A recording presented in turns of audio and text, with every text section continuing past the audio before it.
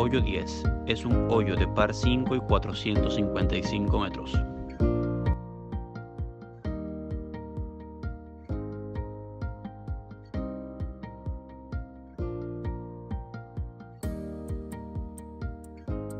Bien, este es el hoyo 10, está situado en una posición clave, cerca de la casa club, cerca del hoyo 1, del green del 18, del green del 9.